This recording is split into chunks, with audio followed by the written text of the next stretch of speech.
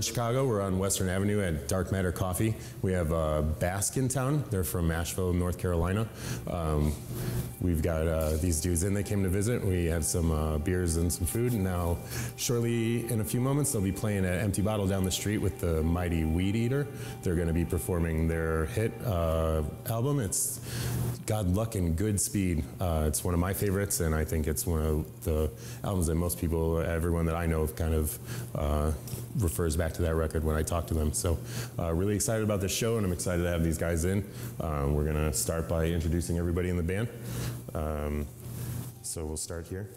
Yeah, my name's uh, Ray Worth. I play guitar and vocals. My name is Jesse Van Note, and I play bass. My name is Scott Middleton, and I'm the drummer. I'm Zeb, and I play guitar and sing. Uh, well, thanks, guys. We um, I had a couple questions I was going to go over. We'll try to make it quick. Um, saw you guys have been on this tour with uh, with Weedeater. Um, it's you guys said you've done about four days now, or is this your fifth day? That's more than that. I don't even know. Oh, two weeks. Oh, wow, that's awesome, and it's been going really well. It's been awesome. Yeah, really fun. Your tour before this one, it says you uh, were with Royal Thunder and uh, Black Tusk. Is that correct? Yeah, we, since we uh, did that tour, but um, we we did a month long tour back in August and September this past year with Pallbearer and Kayo Dot, and that was an awesome experience. But Pallbearer has been a band we've looked up to for uh, quite some time, and you know I, I, feel like they're one of the most important bands in underground heavy music right now. So to tour with them uh, was really awesome, and they're awesome dudes too, and just as goofy and weird as we are. So it was it was a nice click between us. And, Pallbearer and Kayo Dot. It was it felt like home. Yeah, that's awesome. That was uh, when I saw that that matchup. It uh, was really exciting for me. I felt like that really made a lot of sense. And that was actually one of the questions I was curious about was with Weedeater. How did that um, come to play? Have you known those guys for a long time, or? Uh, basically, we've been really lucky. Like uh, we've just been approached via email being like, hey, you want to go out with these guys? And we're like, yes, we do. Yes, we would love to go out with those guys.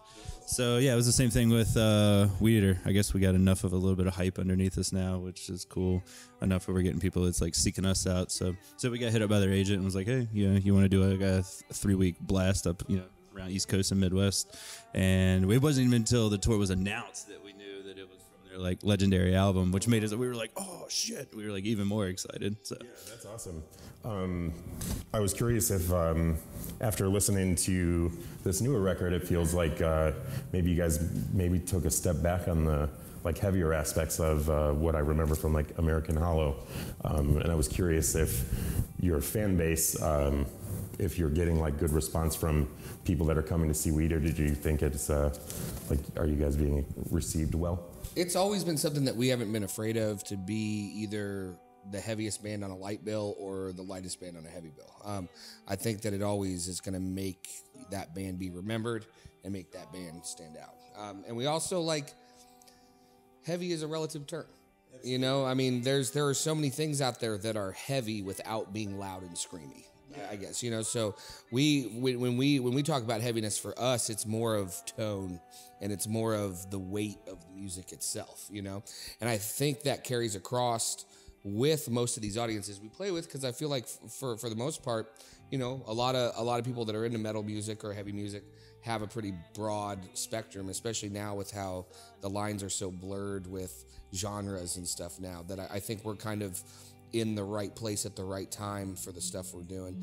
And we always have just um, from the start four guys that listen to four different things and just play what we want to play and we've been fortunate that those things all work together. Yeah, that's awesome. So, and with the new record, it was, uh, you know, Scott and Ray had written most of the material for American Hollow prior to Zeb and I being in the band, where Ramble Beyond is pretty much everybody's influence in it. So, um, and we were able to develop that record over a longer period of time and spend a lot more time in the studio and and stuff like that. Yeah, so, and, and yes, and spent more money on it too. Yeah. Did you, uh,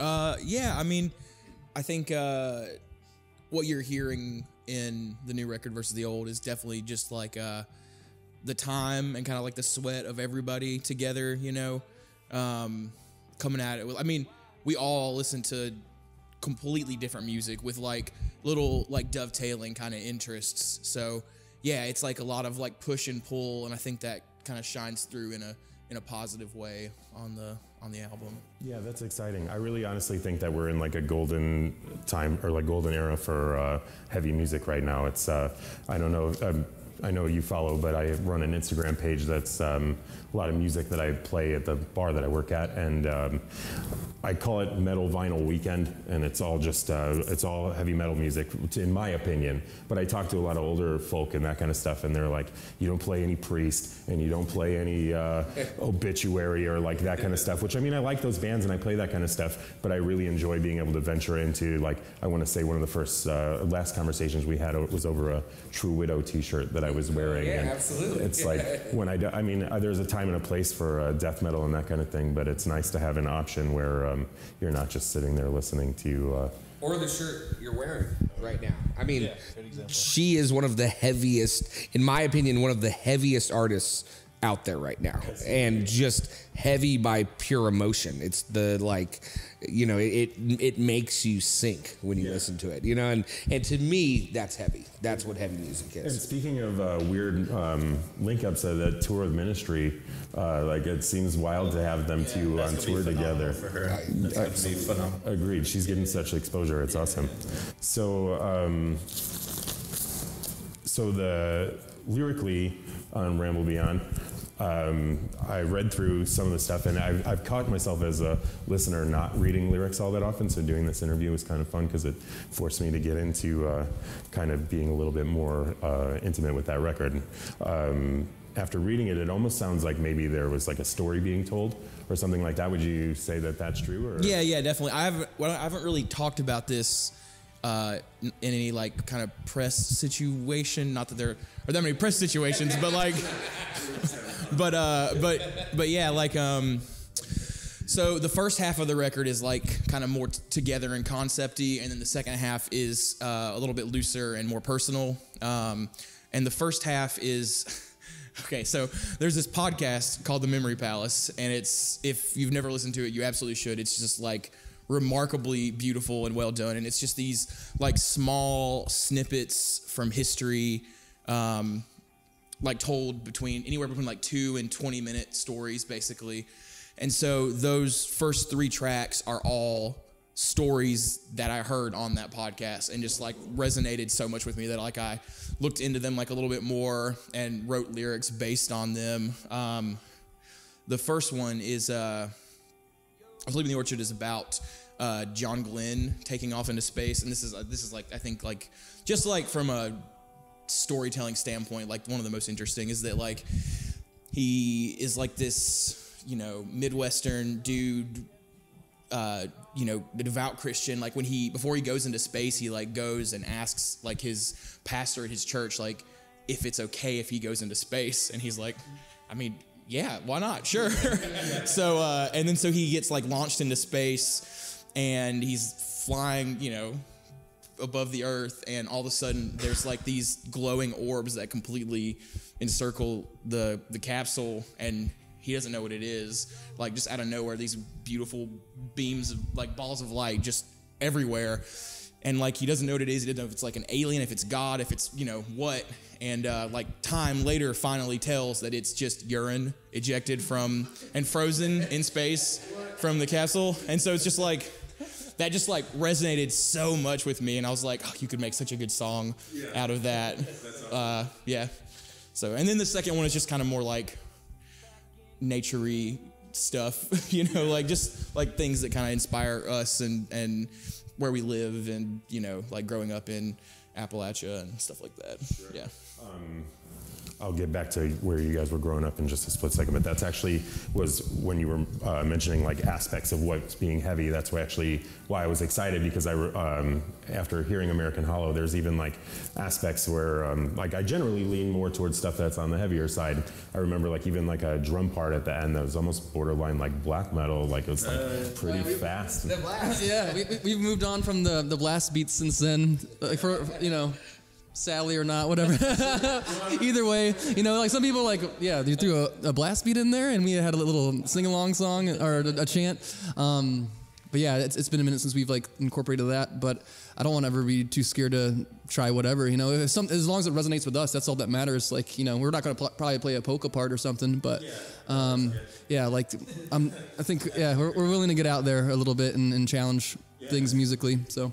That was um, the, the like some of the lyrical content was heavy enough that that's why I was saying it's um, these songs when we when I when you dropped off that record at the bar uh, shortly after you guys left I played it and um, within a few moments there was like I, don't even think I made it two songs in and two separate guys at the bar had chimed in to ask what the record was and then somebody actually got up from a table and had came over to ask what I was playing it got received really well.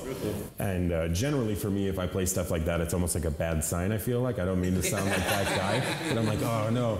But um, I, I knew it was so good because I uh, the um, the door girl that was working um, our, our receptionist she came around the corner and after it was done I hadn't even finished or like finished the B side I was like I think I'm gonna flip this record again and we're gonna play it a second time. So yeah we um, I really love the record. I think that um, there's some songs like on the on the new record that are almost remind me it's like a borderline like modern rock anthems. They're really large songs so yeah no it's um, I'm excited to see you guys play. Um, we talked earlier before we got on camera about um, you guys uh, playing in venues and stuff around the area. Um, is there a favorite venue in Asheville? Is like, what's the scene out like out there? Yeah, um, our go-to venue is the Mothlight, and it's funny that we're playing at the Empty Bottle tonight because John Hensey, the owner operator of the Mothlight, uh, cut his teeth over here down the street at the Empty Bottle. So it's kind of like our two worlds uh, colliding tonight. And yeah, so shout out to the Mothlight. Uh, they treat us well. It's amazing venue in Asheville, North Carolina, and they they're not uh, scared to go a little bit avant-garde with the musical selections there, and for, for that like for that reason, I really respect them, and it's a huge part of our community, and I love them for that. So He opened up a really, really nice, gorgeous venue, and isn't afraid to have death metal bands playing there. And it's it's a- a- and the whole spectrum.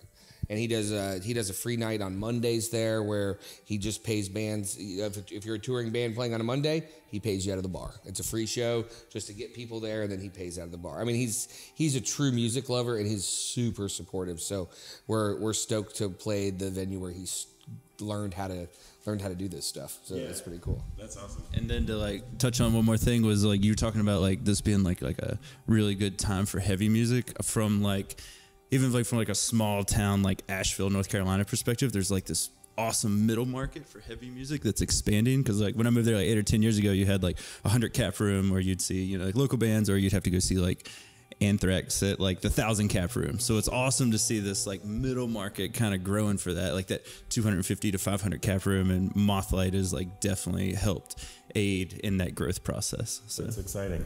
Um, that, that's how I feel. Empty Bottle is like that for me. It's um, anytime I think, I, I always think back to the fireside when I think of like the glory days for great shows in Chicago, and I think that Empty Bottle is like the competitor for that. Every time I see their lists and everyone that's played there, it's always so impressive. Um, the scene, the scene out there. Are there a lot of? You said there are there a lot of bands coming from North Carolina? Is there any of your? Do you guys like? That was another thing I wanted to ask is if you guys do any of you guys play in any other bands besides this one, like on the side? Or yeah, we got like pretty much everyone except me plays in uh, plays in a, in a in a different band that's around town. Is and then with like the artists and stuff that are growing in Asheville. I guess the only complaint I have is I wish they would just last a little longer, because a lot of times they're just like a little short lived, where it's like, oh man, that band was so sick, but they were only around for like 18 months, you know what I mean? And then they're like, woo. But yeah, if everyone wants to touch on their other projects. Um, I play in a uh, black metal project called Black Mountain Hunger. Um, our singer um, is a really super talented um, tattoo artist and vocalist. Her name's Balin, um, and she is about to have a baby. So um, we're kind of on, on hiatus at the moment, but we're writing a new record while she's on, I guess, maternity leave, you'd say. So, and then we'll present the record to her uh, once we're done with it. And if she wants to wants to sing on it, cool. If not, then we're gonna have to try and decide to go another direction. But we have some stuff up on Bandcamp right now, um, some older stuff. So. Um, I also play uh, in a band called Via, which is like shoegaze, post rock, spacey stuff, and uh, I've been playing around Asheville a little bit more with that, and been to Atlanta recently, um, just kind of regional right now, and uh, yeah, it's cool. So check it out, Via, Via AVL. uh, and I play in like a cosmic, like post country kind of band. It's like just like a lot of like uh, improv and like twangy riffs. It's like two guitars or like guitar and pedal steel and bass and drums, and it's just you know kind of like a little bit out there. It's like really new, but it's called Rye, um, and we've been playing some shows around town and stuff, which is really fun. Cool. I feel like that's how, in Chicago here we get a lot of that where uh, lots of bands and the, the scene is very incestual, but it's like you'll get one guy he plays drums in like six different bands or something like that, and it's always cool to me to see what projects people will take on and their other interests in music, like you You said. get I a mean, good drummer, that's why you hold on to them. yeah, right. Um, yeah, we don't have too many. Or I mean, there's quite a few, but I, I think the scene out here is really. Uh, I think we're lucky to have it. There's a lot of great bands uh, that are coming from here. Speaking of which, uh, Atlas Moth and uh, Harm's Way just ended up on the Billboard charts. I saw that was uh, really exciting. I don't know if you guys have any favorite Chicago bands or if there's anybody that. Uh, would Oh, yeah. very big influence uh, for me like early on like yeah probably like a huge influence on, on this band for me like uh, one of the first bands that introduced me to doom in any in any way really and i was we listened to australasia a couple days ago on the trip and i was like man this reminds me of stocking shelves in a grocery store uh, between like you know midnight and like six in the morning i just used to be rocking that it helped get me through um, and yeah i'm a big fan of the atlas moth as well and uh, there's this ambient artist in town right now called Mind Over Mirrors that's performing, I think, not this Friday, but the next one at some uh, art gallery in town or some museum. And uh, it's like some of the best ambient, like um, kind of kraut rocky, um, experimental music. So Mind Over Mirrors is definitely hits the spot for me right now. Yeah. Yeah. Big fan of uh, Russian Circles too. I pretty much like, yeah, Mike Sullivan's like forty percent of what I model my heavy tone after. Pretty much, I was like, oh, okay. Well, for my clean stuff, I kind of go for this like drive by truckers kind of vibe. Uh, you know, kind of Allman Brothers. You know, like kind of gritted up uh, Southern rock. But you know, when I get it heavy, I'm like, oh, I love that that tone that he does. You know, for that for that project. And I'll go ahead and date myself because these bands aren't together anymore. But uh, Braid, Promise Ring, and uh, I, I've seen all those bands at, at Fireside Bowl, and it it was or and it was uh, just uh, some of the best times of my life. And I know not Chicago, Champaign, but. Hum will always be one of my favorites ever of all time. So, but it's that it's that sound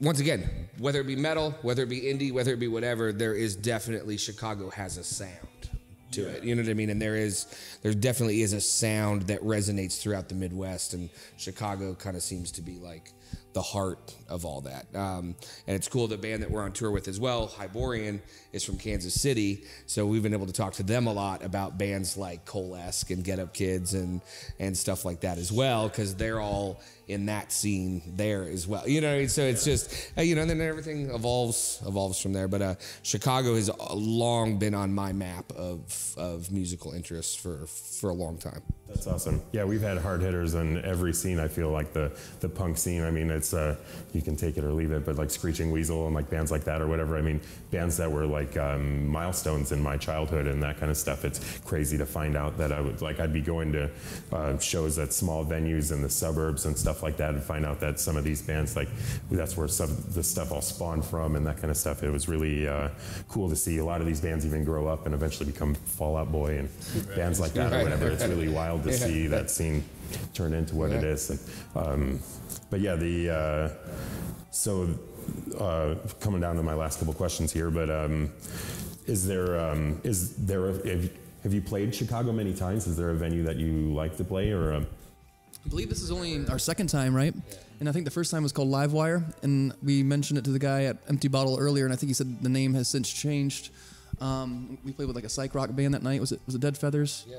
Um, I believe. So yeah, only our second time playing here, but um, on a musicianship level, uh, yeah, like I'm stoked to play tonight. I feel like I have to bring it up to another level because like yeah, a major city, one of the biggest cities in America. You guys have a giant musical lineage, and like don't fuck around. Better bring it tonight. You know what I mean?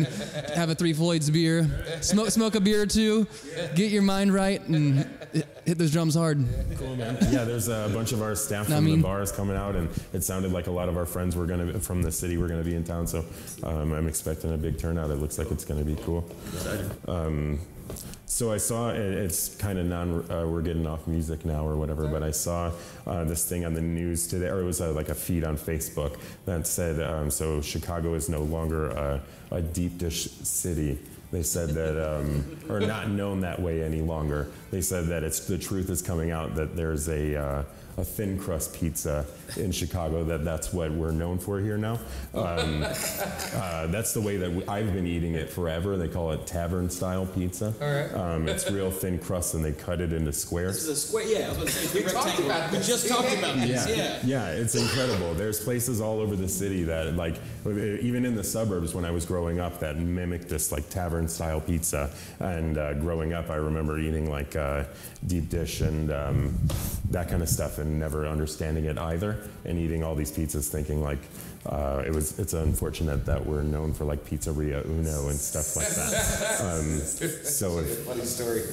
if you guys uh, if you guys have been in in the area, is there a uh, like a restaurant or anywhere, or do you guys know the food scene? Are you big in the food? scene? I mean, Yeah, A little bit.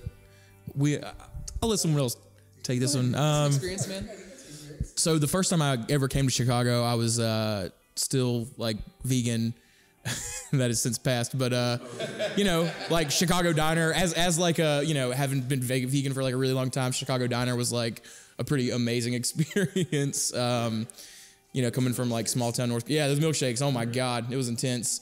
Um, when I was a kid, actually, in my hometown in rural North Carolina, uh, there was a restaurant called uh, Old Chicago Pizza that served square pizza like that. Yeah, and this was in you know the '90s. So, but yeah, we've eaten food here. We've eaten good food here. Um, I'll be super generic and say Kuma's Corner because it's awesome and I, I love it. I love that you can go into a spot that blasts death metal music and it can be a guy with a mohawk and tattoos sitting next to a guy in a business suit, all chowing down on a burger together and having a good time. Um, and then also, um, you know, we we've stopped at Three Floyds a few times coming through and always had great food at, at Three Floyds too. Yeah, very very well done. yeah, those dudes are so talented. Yeah, and then uh, last time, uh, last time we were uh, in town, uh, we played Carbondale, and then we came into town because uh, the guys were shooting a Gear Gods at uh, Chicago Music Exchange,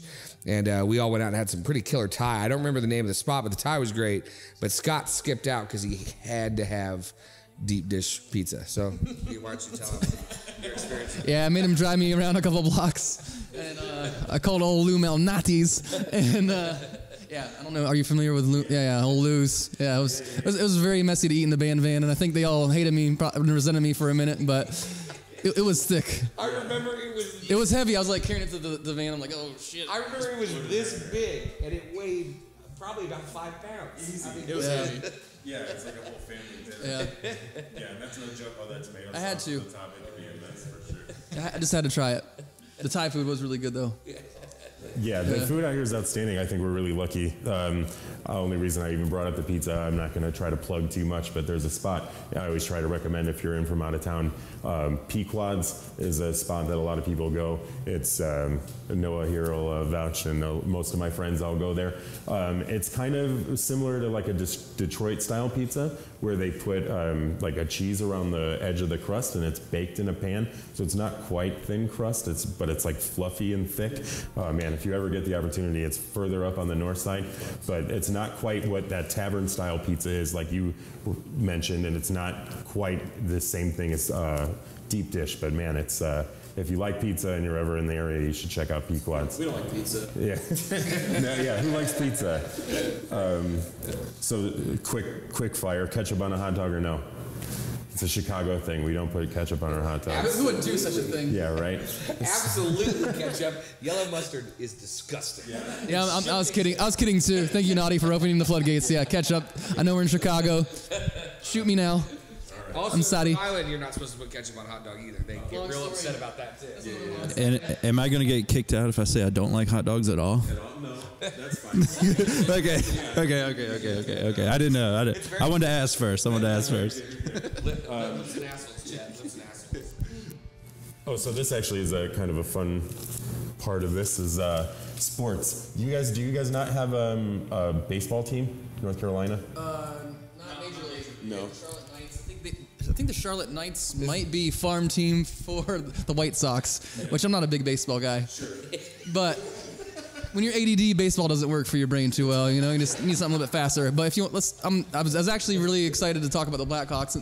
I'm not sure how they're doing this year, but Yeah, I actually, in all honesty, that hoodie that I was wearing was a gift from my brother for Christmas. I'm not the biggest hockey fan, so I don't know that much. Um, but at the same time, uh, He begs that there's someone to talk hockey with every yeah, somebody talk hockey with me. I, I, I've got uh, sports friends, so when I bump into them at the show, I'll line you guys up.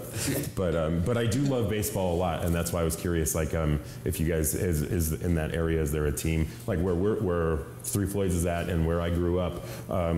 Is in Northwest Indiana, and they Indiana doesn't have a professional baseball team either. So everybody, I feel like roots for the Chicago teams. Is there like, do you guys side one way or the other? Or are you guys sports guys at all? Mostly uh, in the Carolinas, is, is people usually have gone for the Braves over the years. Just, we're three or plus hours from Atlanta. And yeah, it's, it's like a Brave, Braves country baseball wise. And we do have a, a, tr- a AAA team in Asheville. It's a small team called the Asheville Tourist. Astros? Huh? Are they the Astros farm team? the Tourist? Tourists? I think it's uh, the Devil Rays team. Yeah. I'm not sure. some Yeah. some team. Um, the uh, I uh, so my whole family is from Southern Illinois. Um, so I grew up a Cubs fan, um, and uh, I've been to Wrigley Field several times. And um, I uh, at one point or another, uh, my family moved us to New York, um, and I kind of quickly became a Yankees fan because that's just what you do when you live in New York.